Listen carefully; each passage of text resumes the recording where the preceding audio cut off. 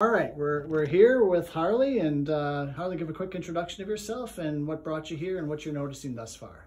Um, my name is Harley, and um, what brought me here is um, uh, chronic constant headaches, neck pain, and shoulder pain, probably for about a year.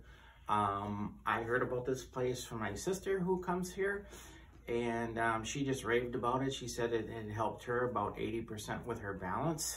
Um, she's had some accidents and hip issues. Anyways, for me, um, I've only had two sessions. This is my third. We're just getting started.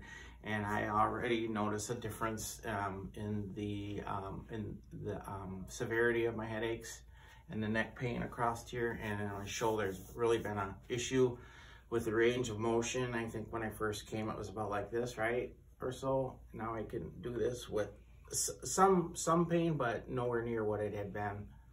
Um, so yes, uh, um, it's it's helping me, and I'm looking forward to uh, today's session and the rest of my sessions. Terrific. Thanks for sharing, Harley. You bet.